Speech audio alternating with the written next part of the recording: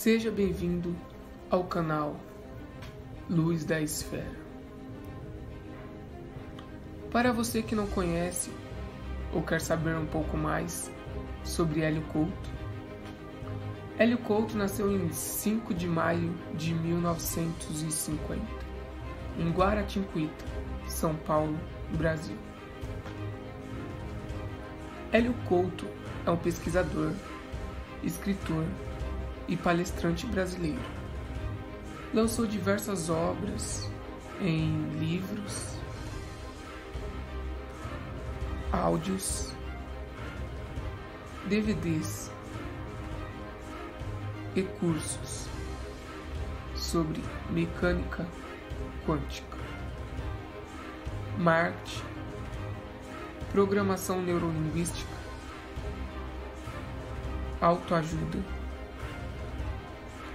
filosofia ocidental e oriental, mitologia e espiritualidade. Interessante, né? Desde muito pequeno, Hélio Couto se interessava por pesquisas dos mais diversos assuntos. Ainda com oito anos, já lia sobre a mente humana, psicanálise, psicologia, mitologia, sociologia, entre outros. Depois de adulto e formado em análise de sistemas, aos 32 anos, ele sofreu um período que o psiquiatra Stanley Groff chamou de emergência espiritual. E entrou em um período que durou 12 anos, onde se aprofundou principalmente na pesquisa de mecânica quântica. Onde desenvolveu várias teorias que mais tarde começou a utilizar em seus trabalhos como terapeuta consultor. Mas e aí?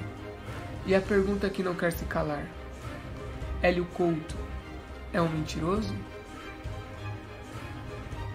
Hélio, Hélio Couto está longe de ser mentiroso. Ele é um grande mentor que veio nos ajudando e me ajudou muito no autodesenvolvimento. Ele foi o divisor de águas na minha vida. Devo muito a ele, a tudo que eu sei e aonde eu cheguei.